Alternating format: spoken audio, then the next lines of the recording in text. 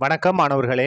இந்த வீடியோவில் பதினொன்றாம் வகுப்பு கணிதம் அத்தியாயம் ஐந்து ஈருறுப்பு தேற்றம் தொடர்முறைகள் மற்றும் தொடர்கள். இதில் எடுத்துக்காட்டு ஐந்தில் ஒன்பது பார்க்க போகிறோம் என்ன கொடுத்துருக்காங்க பாருங்க.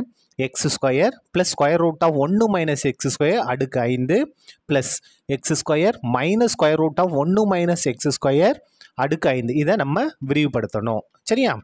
இப்போ பாருங்க இதை முதல்ல விரிவுபடுத்துவோம். அதுக்கடுத்து இதை விரிவுபடுத்துவோம். ரெண்டையும் கூட்டிக்கலாம். சரியா? இப்போ பாருங்கள் முதல் ப்ராக்கெட் எடுத்துக்கலாம். என்ன இருக்குது X square plus square root of ஒன்று மைனஸ் எக்ஸ் ஸ்கொயர் அடுக்கு ஐந்து. இதை விரிவுபடுத்த போகிறோம் முதல் உறுப்பு மட்டும் ரொம்ப கவனமாக எழுதணும். என்னென்னா இங்கே ஐந்து இருக்கா? அப்போது ஐந்து சி ஜீரோ அதுக்கடுத்து இதில் இருக்க முதல் உறுப்பு எக்ஸ் ஸ்கொயர் எக்ஸ் ஸ்கொயரோட அடுக்கு என்ன வரணும்? ஐந்து வரணும். அதுக்கடுத்து ரெண்டாவது உறுப்பு என்ன இருக்குது பாருங்க? ஸ்கொயர் ரூட் ஆஃப் ஒன்று மைனஸ் எக்ஸ் ஸ்கொயர் அடுக்கு ஜீரோ இங்கே ஜீரோவில் தான் ஆரம்பிக்கணும். இந்த முதல் உறுப்பை நம்ம ஈஸியாக எழுதிட்டோம்னா ஈரு உறுப்பு தேட்டத்தை நம்ம என்ன செஞ்சிடலாம்? ஈஸியாக எழுதிடலாம் பாருங்கள் ஐந்து சி ஜீரோ முதல் உறுப்பு அடுக்கு ஐந்து ரெண்டாவது உறுப்பு அடுக்கு ஜீரோ இங்கே ப்ளஸ் தான் இருக்குது அப்போ எல்லா உறுப்புமே ப்ளஸ் தான். ப்ளஸ் பாருங்கள் ஐந்து சி ஜீரோவா அதுக்கு அடுத்து ஐந்து சி ஒன்று அதுக்கடுத்து எக்ஸ் ஸ்கொயர் அப்படியே வந்துடும் இந்த அடுக்கு குறைஞ்சிக்கிட்டே வரும். நாலுன்னு மாறிடும் இந்த இடத்துல ரெண்டாவது உறுப்பு இருக்கு இல்லையா? ரூட் ஆஃப் ஒன்று மைனஸ் எக்ஸ் ஸ்கொயர் இதுக்கு வந்து அடுக்கு கூடும். ஜீரோ இருக்கா? அப்போ ஒன்றுன்னு மாறிடும் அடுத்த உறுப்பு பாருங்க. ப்ளஸ் ஐந்து சி இரண்டு.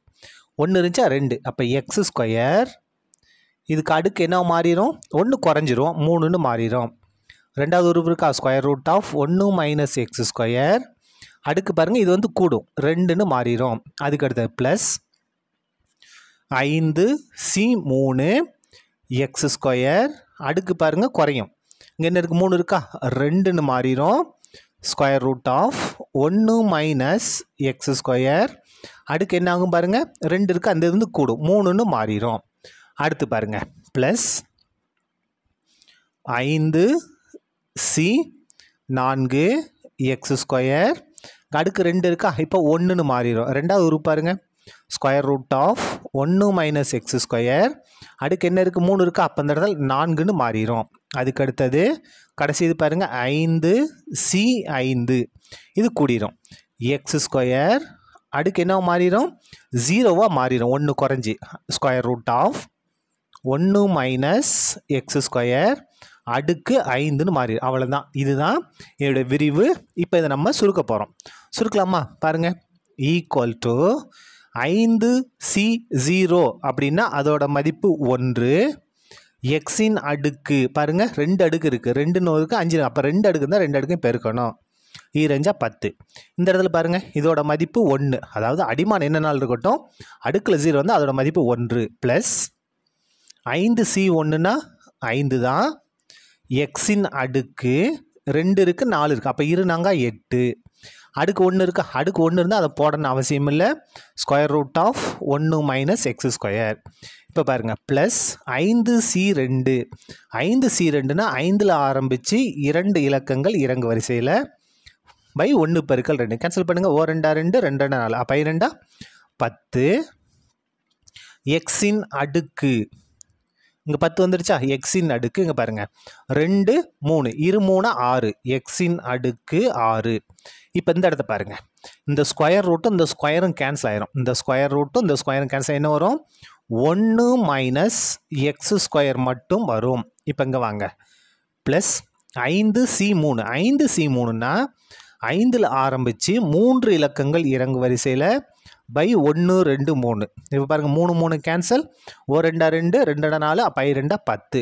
அப்போ இந்த இடத்துல பத்து. எக்ஸின் அடுக்கு. என்ன வரும் பாருங்கள் நான்குன்னு வந்துருமா? நான்குன்னு வந்துடும் இங்கே ஒரு ரெண்டு இருக்குது இங்கே ஒரு ரெண்டு இருக்குது அப்போ அடுக்கு நான்குன்னு வந்துடும் இது எந்த மாற்றமும் இல்லை அப்படியே நம்ம எழுதிடலாம். பாருங்கள் ஒன்று மைனஸ் எக்ஸ் ஸ்கொயர் அடுக்கு மூணு. இப்போ இந்த உறுப்புக்கு வாங்க. ப்ளஸ் ஐந்து சி நான்கு. அப்போ ஐந்தில் ஆரம்பித்து நான்கு இலக்கங்கள் இறங்கு வயசு. ஐந்து நாலு மூணு ரெண்டு. நான்கு இருக்கிறதுனால ஒன்று பெருக்கல் ரெண்டு பெருக்கல் மூணு பெருக்கல் நாலு. பாருங்க. நாலு நாலு கேன்சல் மூணு மூணு கேன்சல் ரெண்டு ரெண்டு கேன்சல் அப்போ என்ன வரும்? ஐந்து மட்டும் வரும். ஐந்து. எக்ஸ் ஸ்கொயரோட அடுக்கு ஒன்று அப்படின்னா அது என்னது தான் எக்ஸ் ஸ்கொயர் தான். இப்போ பாருங்கள் இந்த இடத்துல கொஞ்சம் நம்ம கவனமாக எழுதணும். என்ன அப்படின்னா இதை நம்ம எப்படி எழுதலாம் பாருங்கள் இந்த இடத்துல எழுதுகிறோம் பாருங்கள் ஒன்று மைனஸ் எக்ஸ் ஸ்கொயர் அடுக்கு ஒன்று பை ரெண்டுன்னு எழுதலாம். அந்த ஸ்கொயர் ரூட்டுக்கு பதிலாக அடுக்கில் ஒன்று பை ரெண்டு போடலாம். இப்போ பாருங்கள் இதுக்கு அடுக்கு என்ன இருக்குது நான்கு இருக்குது இப்போ வந்து கேன்சல் ஆகும். ஓ ரெண்டா ரெண்டு ரெண்டு ரெண்டா நாலுன்னு மாறிடும். அப்போ இது வந்து என்ன வரும்? ஒன்று மைனஸ் எக்ஸ் ஸ்கொயர் இதோட அடுக்கு ரெண்டுன்னு வந்துடும் இந்த இடத்துல ரெண்டு அதாவது ஸ்கொயர் ரூட் ஆஃப் ஒன்று மைனஸ் எக்ஸ் ஸ்கொயரோட அடுக்கு நாலுன்னா ஸ்கொயர் ரூட்டும் கேன்சல் ஆகி அடுக்கில் என்ன வந்துடும் ரெண்டு வந்துடும் ப்ளஸ் ஐந்து சி ஐந்து அப்படின்னா அதோட மதிப்பு ஒன்று தான்.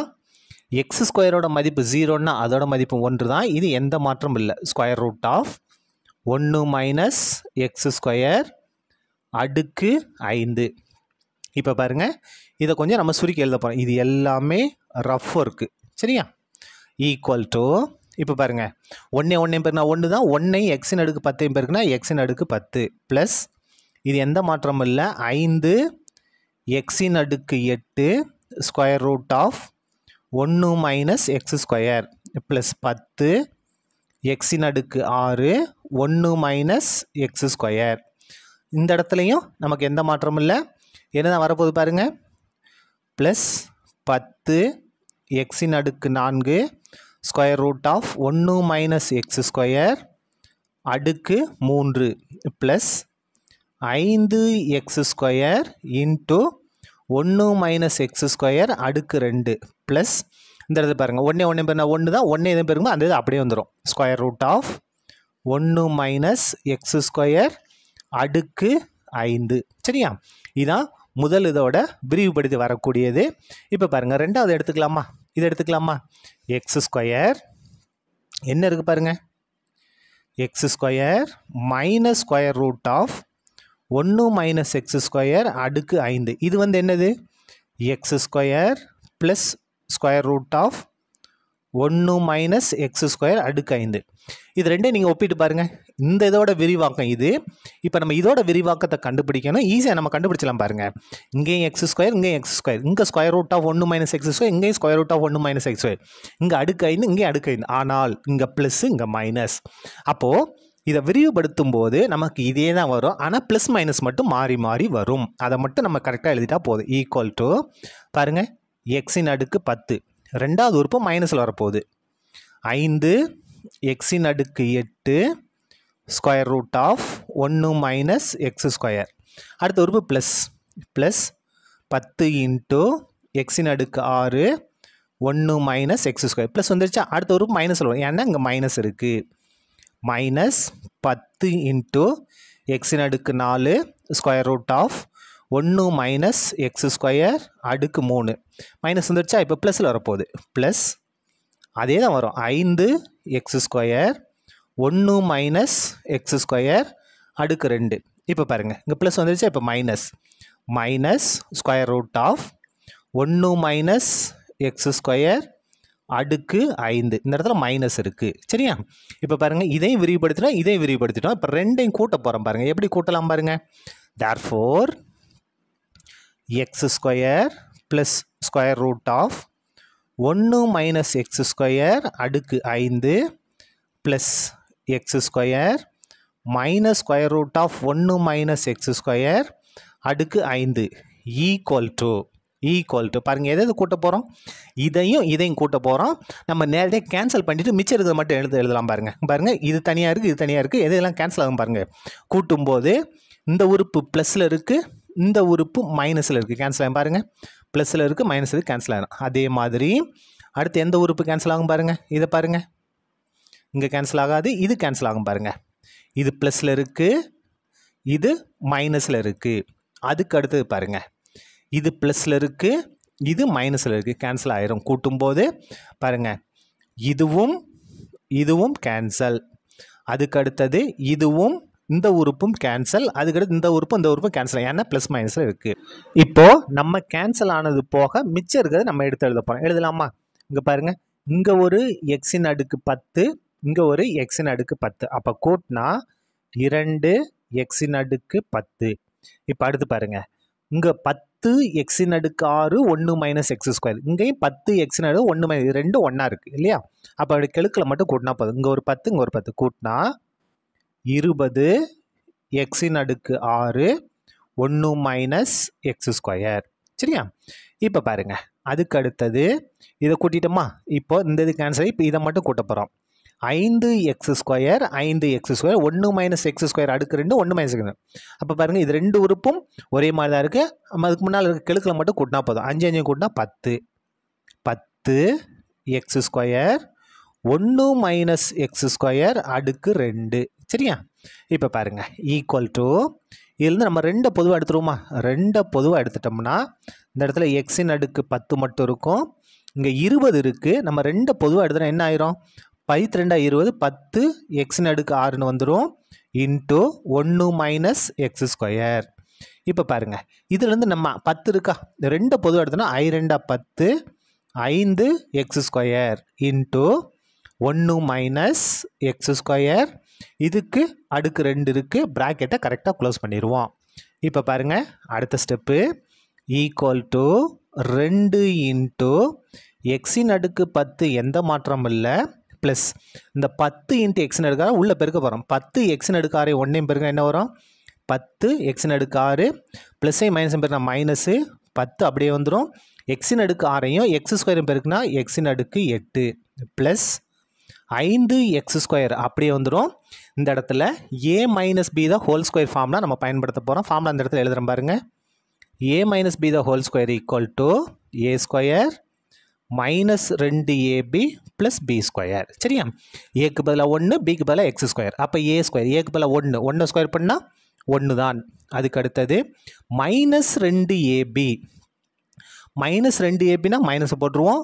ரெண்டு ஏபி பெருக்கிட்ட என்ன ரெண்டு ஒன்றா ரெண்டு ரெண்டு எக்ஸும் பெருக்குனா ரெண்டு X square plus B square பிக்கு பதிலாக எக்ஸ் ஸ்கொயர் எக்ஸ் ஸ்கொயரை ஸ்கொயர் பண்ணால் எக்ஸின் அடுக்கு நான்கு. ப்ராக்கெட்டை கரெக்டாக க்ளோஸ் பண்ணிக்கங்க. ஈக்குவல் டு ரெண்டு இன்ட்டு எக்ஸின் அடுக்கு பத்து ப்ளஸ் பத்து இன்ட்டு எக்ஸின் அடுக்கு ஆறு மைனஸ் பத்து எக்ஸின் அடுக்கு எட்டு ப்ளஸ் இப்போ இதை உள்ளே பெருக்க போகிறோம் பெருக்கலாமா? என்ன இருக்குது ஐந்து எக்ஸ் ஸ்கொயரை ஒன்றையும் பெருக்குனா ஐந்து எக்ஸ் ஸ்கொயர் ப்ளஸ்ஸை மைனஸ் பெருனா மைனஸு ஐ ரெண்டா பத்து. எக்ஸ் ஸ்கொயரையும் எக்ஸ் ஸ்கொயரையும் பெருக்குனா எக்ஸின் அடுக்கு நாலு. எக்ஸ் ஸ்கொயர் எக்ஸ் பெருக்குனா எக்ஸின் அடுக்கு நாலு. ப்ளஸ் ஐ அஞ்சு அப்படியே வந்துருமா? ஏன்னா அங்கே அஞ்சு இருக்குது இங்கே எந்த நம்பரில் அப்போ ஐந்து அப்படியே வந்துடும் எக்ஸ் ஸ்கொயரையும் எக்ஸின் அடுக்கு நாலையும் பெருக்குனா எக்ஸின் அடுக்கு ஆறு. பெருக்கும்போது அடுக்குகளை நம்ம கூட்டணும். சரியா? இப்போ பாருங்கள் லாஸ்ட் ஸ்டெப்பு நம்ம கரெக்டாக சுருக்கி எழுதிட்டா போதும். ஈக்குவல் டு ரெண்டு எக்ஸின் அடுக்கு பத்து அப்படியே வந்துடும் அதுக்கடுத்து எக்ஸின் அடுக்கு எட்டு ஒன்று தான் இருக்குது என்னது? மைனஸ் பத்து எக்ஸின் அடுக்கு எட்டு. எக்ஸின் அடுக்கு ஆறு பாருங்கள் இங்கே ஒரு பத்து எக்ஸின் அடுக்கு ஆறு இங்கே ஐந்து எக்ஸின் அடுக்கு ஆறு. கூட்டினோம்னா பதினைந்து எக்ஸின் அடுக்கு ஆறு. அதுக்கு அடுத்தது எக்ஸின் அடுக்கு நாலு ஒன்றே ஒன்று தான் இருக்குது மைனஸ் பத்து எக்ஸின் அடுக்கு நாலு. அதுக்கடுத்து எக்ஸ் ஸ்கொயர் ஒன்றே ஒன்று தான் இருக்குது ப்ளஸ் ஐந்து எக்ஸு ஸ்கொயர் இதுதான் நமக்கு தேவையான விரிவாக்கம். சரியா? அவ்வளோதான் இந்த கணக்கு முடிந்தது. நன்றி.